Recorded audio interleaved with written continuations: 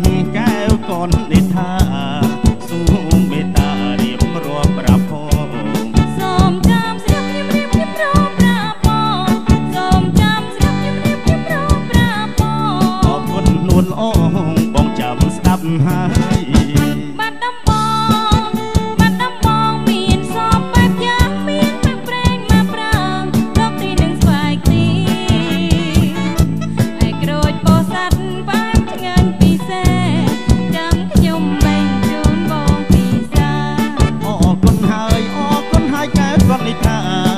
រគុណហើយអរគុណហើយកែប្រនិកា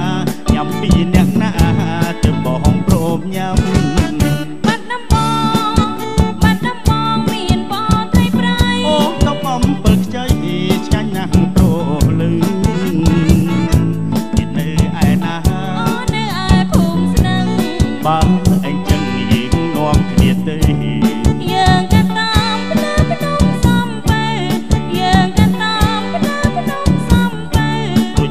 força e